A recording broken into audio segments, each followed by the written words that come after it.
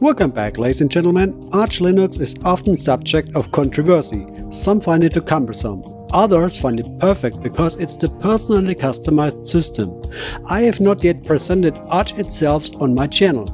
Now it's time to take a closer look at the one and only Arch Linux in 2024. Let's give it a start.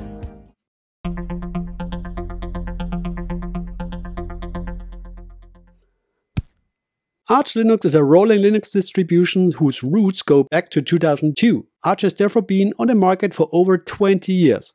Somehow amazing that Arch has been around so far long and that Arch was actually quite unknown for many years, at least to me. I only really noticed Arch in the last few years when there were more and more forks. In fact, Antergos probably also drew my attention to Arch. But now back to Arch.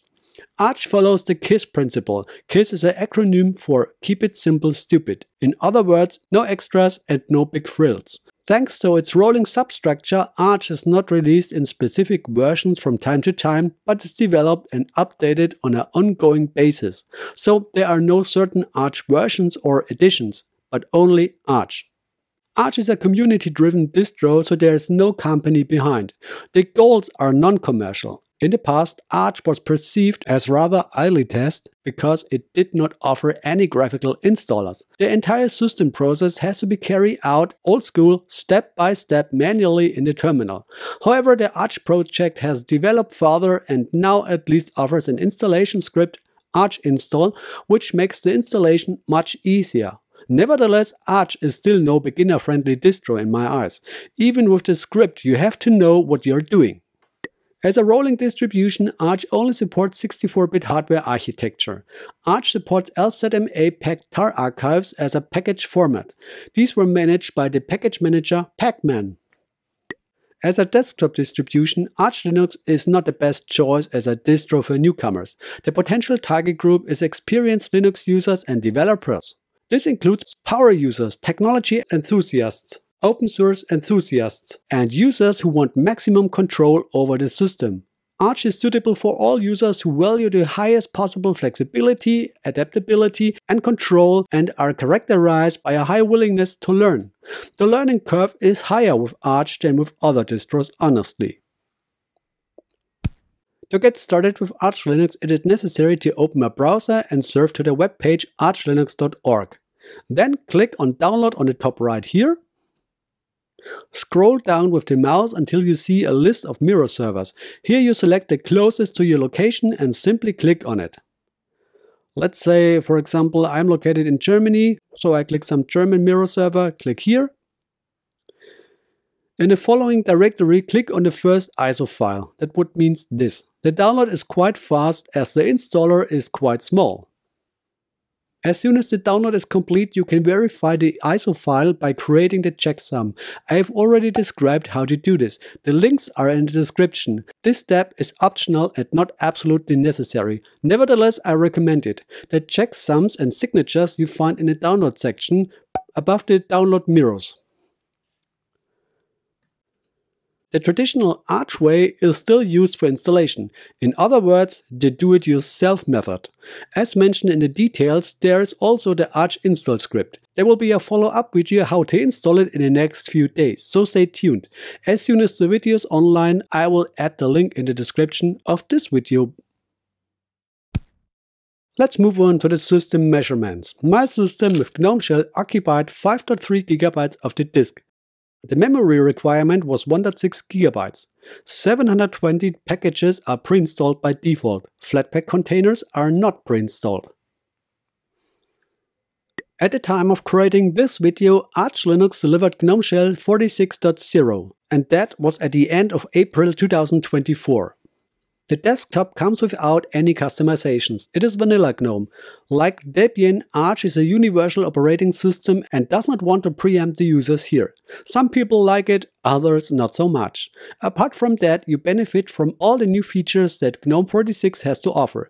I have explained these in more details in my test of Fedora 40 Workstation. The link is in the description. Feel free to take a look. Fedora 40 Workstation also delivers GNOME 46 as vanilla GNOME.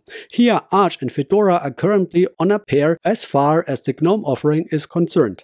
Like I said, Vanilla GNOME. If you click on the line and the dot here, you come to the overview. Here is a dock with pinned apps.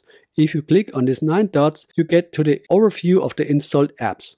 But more on that now. Let's come to the pre-installed software. We have Linux kernel 6.8. As browser, there's GNOME Web. As email client, there's nothing pre-installed. As Office package, there's nothing pre-installed. And as software container, we have Flatpak on board. Kernel 6.8 is the current mainline kernel. As soon as 6.9 is released, Arch will provide it promptly. So if you come here at a later date, you might find yourself in a different situation. There have already been two performance measurements that hint at what is to come. Only a few packages are pre-installed at Arch. In the current situation, this will only be a fully fledged desktop for very few people, I assume. I suspect that very few of you will use GNOME Web as a browser, for example. I also assume that many people here also like to have a mail client and Office package on the system. By the way, you get everything for free. Flatpak apps are available at GNOME Software. Let's check this out. Well, there's a, for example Geary, and you see FlatHub as source. There is no other source. Let's take a different example. Let's say Evolution. Source FlatHub.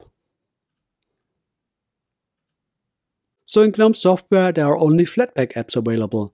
But we cannot install the native Arch packages via GNOME software by default. Why is that? Well, it's complicated. Some say Pacman is not suitable for use in GUI applications. There are some discussions on Arch boards, for instance. But there is a suspicion why e.g. Endeavour OS or Manjaro with GNOME rely on Pamac. But we can only install Pamac if we use the AUR. The AUR is the Arch user repository, a third-party source that Arch did not officially recommend using in the past. Nowadays they don't seem to distance themselves from it so directly. However, it is not activated by default. You have to be a bit careful with AUR as it is a community repo. This means that there is no great quality assurance and the risk of catching a manipulated package is potentially the highest here. This does not mean that there is only attempted or corrupted software on offer. It may be because it's not an official repo, but it's a community repo, so different rules apply here. Incidentally, there is a whole range of useful terminal commands for Pacman. Here's a list that should help you in everyday life. It's from updating the system, searching packages, installing packages, installing package groups, removing packages, refreshing the mirrors, or a command for house cleaning. Arch is certainly a great distro for those who warm to it. I definitely do not belong to this target group. I don't know why, but Arch just doesn't appeal to me. Maybe it's because I need the computer to work with and not have to tinker with it if you allow me the polemic at this point. It just doesn't have any, let's say, sex appeal to me. I also have no desire to do everything myself. And just keep in mind, Arch Linux does not provide a standard desktop. It does not even necessarily provide a desktop. You can choose what you need or like. What struck me is that Pacman is fast as an arrow. This package manager is really designed for maximum performance. I have also tumbleweed systems in use. And if I now compare Zypper with Pacman, oh dude, Zypper can really eat dust. As far as that is concerned, Pacman is absolutely top. The installation with Arch install script is a noticeable simplification of the installation, but hardcore Arch users will probably continue to install in the traditional Arch way and do it without Arch install. I still think it's a positive development as it is a good assistant in my eyes. When I read around the Arch forum, I often come across an elitist way of thinking and writing. You can also say that some of the answers to beginners' questions are given from above, along the lines of, you know that. But to be honest, I've also read this in other distro forums such as the Debian forum, so that's not typically Arch, but smart Alex of people who can't deal with other people's questions are everywhere. But yes, sometimes they are just lazy but who ask about the same topic for the hundreds of times because they are simply too lazy to search for themselves and would rather be served a solution on a silver platter instead of working it out for themselves. Incidentally, I have installed my system with Btrfs file systems. The subvolumes are set up correctly with add for root and at home for slash home. If you want to use Timeshift, start and set it up directly, it will run smoothly. So let's come to my conclusion. Although Arch doesn't appeal to me, I can understand why some people swear by it. It's the perfect distro for those who want to control things, organize things their way. It's a perfect match for exactly this target group. You just can't do it without graphical extras. When using Pacman in the terminal, always look carefully at the messages and search for a solution in the Arch wiki or forum in the event of an error or problem. You can do that if you want if you have the patience and the time for it, because that's the crux of matter in my eyes. I can't find the time. I have to be able to rely on an update not breaking my system. The risk is lower the less the system rolls and more it becomes static LTS. Imagine you're at a customer premises and want to present a solution, but you can't because an update has crashed the bootloader or something else is not working or the system is simply on strike. Game over. That's the worst case scenario. Admittedly, you don't update your system before an important customer appointment, of course. But the key message is that the rolling substructure also brings a lot of change to the system. The packages are not so finely tuned and problems can always arise here and there with sooner or later call for your time and attention. If you can master this and are keen to learn a lot with your system, then Arch might be the right challenge for you. If you don't have the time and patience, or if you lack the necessary in depth knowledge at one point or another, then Arch is definitely not the most suitable distro for you. What are your thoughts on Arch? The perfect distro or just for those who have enough time in the day? I say it in such polarizing way on a purpose because I would also like to find out whether I have great Arch users among my viewers or not. If you probably already guessed it, I'm not going to be an Arch user in future. But what about you? Please write your thoughts and your feelings in the comments. I'm already curious. Thank you for the kind attention. If you're interested in Linux content, please subscribe to the channel. Give the video a thumbs up and activate the bell to get immediately informed when a new video is released.